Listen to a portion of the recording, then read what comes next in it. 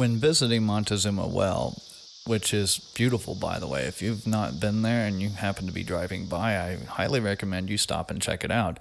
But it's a very unique place, especially underwater, which obviously I didn't go there. I have an aversion for diving into leech infested pools of arsenic but I had wondered if somebody possessing the right brand of crazy had actually given that a try. And it turns out that there's a joint production between Curiosity Stream and the National Park Service documenting the experience of some fellas who actually did it. Since the video was public domain and it's very much relevant to my content, I decided to upload it to my channel. Roll that beautiful bean footage.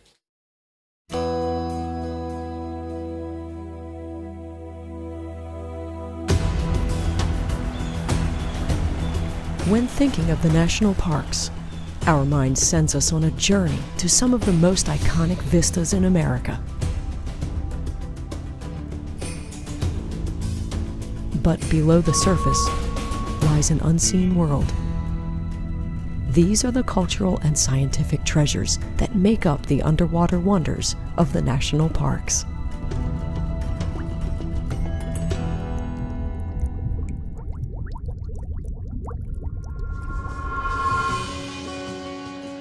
The Verde Valley, Arizona. A few miles removed from the majestic cliff dwellings of Montezuma Castle lies Montezuma Well, a sacred site revered by Southwest Native American tribes that is also home to a mystery that baffles scientists and researchers to this day. In the middle of the desert, we have this very dramatic and unique landscape where there is a sinkhole here that has this tremendous uh, aquifer underneath it that flows up and, and is continuously flowing. And it provides a, a, really abundant life for all of these trees, and it truly is a, an oasis in the middle of the desert here in Arizona. This unspoiled environment has taken ages to form. Ancient rainwater percolated through the nearby Mogollon Rim, causing a limestone cave to erode and collapse thousands of years ago. The result? Montezuma Well, a body of water 386 feet in diameter, whose continuously flowing underground vents provide fresh water year round.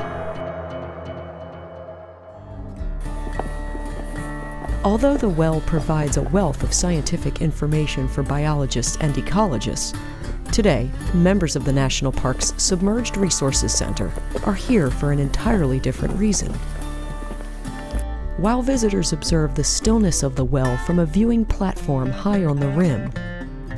Below the water's surface, there lies one of the most baffling environments on Earth. Years ago, I heard about Montezuma as well, and it's quite honestly one of the most unique and uh, bizarre diving environments I've ever been in. As you gear up, one of the more difficult things about diving here is just getting out to the middle of the well there's this kind of 30 foot barrier of just immensely dense and very difficult to navigate weeds. All of the weeds get kind of, uh, you know, caught around you, and if you walk, you basically sink into your waist of just muck. So you get stuck and your feet get stuck. So we tried putting on our fins and kind of, you know, pushing through and swimming as far as we could. Once you break free of all that weeds and you get in the middle, you drop down to about, uh, about 45 feet deep. And as you come to the bottom, suddenly you, you realize that the, the bottom is swirling all around you. It kind of messes with your head. It gives you kind of vertigo because it's moving and it feels like you're moving. And what we found is the bottom has these pools of, of liquefied sand. It's this suspended particulate that just is exactly like water. As a diver, you're hovering over this and you're looking at it, and the, the, the bottom is kind of swirling around, and then the, the material gets pushed to the edge, and there's bobbing wood and, and debris fields that are kind of out there on the edge of these pools. And then there's these bubbling sand pits that kind of continuously bubble in, in sometimes a violent way. And there's billions and billions of amphipods that are just crackling all around and, and swimming all around. It's just a, it's a very bizarre and a, and a strange environment to be in. one that I've never seen like it, and people that I've talked to who've spent many more years in the water in caves or in sinkholes have never heard anything uh, like this at all.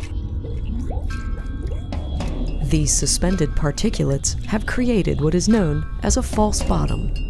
While it would appear that the divers have reached the lowermost portion of the well, in actuality, the force from the pressurized water vents feeding the well causes the liquefied sands to hover, making visual confirmation of the bottom impossible. You can put your hand down into the sand and it doesn't feel any different. It's not like being at the beach where you stick your hand in the sand and you feel resistance. The only indicator that you get is it's actually slightly warmer. But other than that, it feels like your, your hand is just in water. It has been likened to a type of quicksand. So if you stay in one place for too long, all of the sand kind of comes up from underneath and it moves to the side of the pool and then it settles and it settles and compacts and compacts. Anything that's resting in the edges of this pool eventually becomes compacted into the sand and it's hard to get out. I mean, it's not like it's going to swallow you like, you know, a B movie or something like that, but it, your, your fins get stuck or your camera gets stuck. And although the underwater environment may look like that of a distant planet's, a variety of aquatic life flourishes at Montezuma Well. Despite the high levels of both carbon dioxide and arsenic found in the water, levels that make it impossible for fish to breathe and thrive. Evolutionary adaptation has benefited the five distinct endemic species that are found here. The inhabitants, diatoms, a single-celled algae, amphipods, an abundance of small shrimp-like creatures, snails, non-blood-sucking leeches, and water scorpions. These last two sit at the top of a simple yet thriving food chain. Think about it. Everything that lives in the well doesn't really have anywhere to go. They're sort of trapped in there. so over the eons, um, things that came here evolved to such a point that, that you can't find them anywhere else in the world. And they've made adaptations to the well itself. It's actually quite unique. The leeches are blind. They have hairs around their mouth that they uh, use to feel the vibrations in the water, and that's how they find their prey.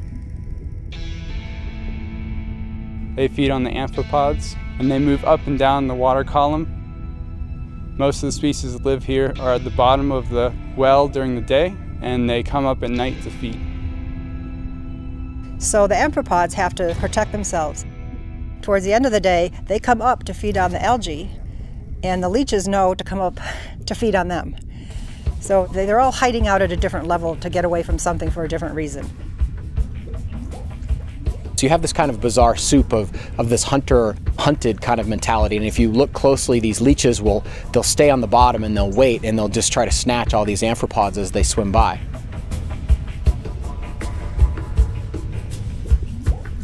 If there are other things living down there under the false bottom, you can be sure that they're probably endemic species found nowhere else in the world and probably blind. Researchers have also been left in the dark when it comes to the mysteries found beyond the false bottom. While previous national park underwater expeditions have succeeded at measuring scientific data below the liquefied sands, attempts to look beyond them and find their source have to this day been unsuccessful with these kind of pools of liquefied sand. One of the things that we've, we've been interested to see is, is there any way to penetrate through those? Is there anything below? And one of the things we found is every time we try to lower something into the well, it gets pushed back up. We have in the past overweighted cameras or ROVs and lowered them down. And as they descended down through this liquefied sand pool, it was complete blackness, which would indicate to us that this kind of upwelling is completely filled with sediment all, all, through the column. So it's not like it's not like the top layer is sand and there's this breakthrough of clear water underneath. Years ago when we were here and we were looking at the, the kind of makeup of the well, we, we had this reinforced to us. We had an environmental probe, a, a data logger, that, um, that we found a pool that was quite active and we were, at, we were at 50 feet deep and we lowered that down with a string. And as the diver was lowering it, he finally hit bottom and that was about 40 to 45 feet lower than we already were, thus making the well about 90 feet deep. But as he started to reel it back in, what he noticed it was getting harder and harder to reel because what was happening is the sand was coming up and, and then it was spilling over and then falling back down and compacting on top of the instrument. So the sand is in constant flux. And the interesting thing is there's this upwelling that obviously is keeping the sand suspended. But when you're above the pools, you don't feel water coming up. There's no rush of water. So it's not like there's a column of water that's coming up through the well. It's just a, it's a very bizarre and a very unique environment. For those not able to experience the unique environment below the water's surface, a look at the surrounding rim of the well provides a window to the past. Native Southwest tribes took advantage of the continuous water flow at Montezuma Well to establish both agriculture and their homes. The first evidence of people at the site dates 10 to 13,000 years ago. And while those groups did not settle here, by 600 AD, Montezuma Well housed a thriving community. The Hopis, uh, this is part of their ancestral home, and there's quite a bit of agriculture around here. Might surprise you in the desert. The people built canals and ditches out, and it irrigated about 60 acres. So water's coming in from the vents and water's going out through the outlet. It starts here and it goes through the rock about 150 feet and comes out the other side of this, this cliff here. And that journey of the water takes about seven minutes. And then as the well empties via the outlet, it gets refilled. So that equals a really nice, constant, stable environment of water coming and water leaving, and the um, actual level never really changes. So every day 1.5 million gallons flows uh, out of the spring at the bottom of the well and into uh, an irrigation ditch, which uh, the ditch itself is about a thousand years old. That canal they built by hand back then was um, about seven miles long. And that was a lot of work. Just the labor to keep that up. Even today, it's one of our, our struggles is to keep the water channeled into the duct. The architectural know-how of these southwestern tribes can also be seen in the majestic cliff dwellings of Montezuma Castle. But even here at the well, 22 rooms can be found surrounding the rim.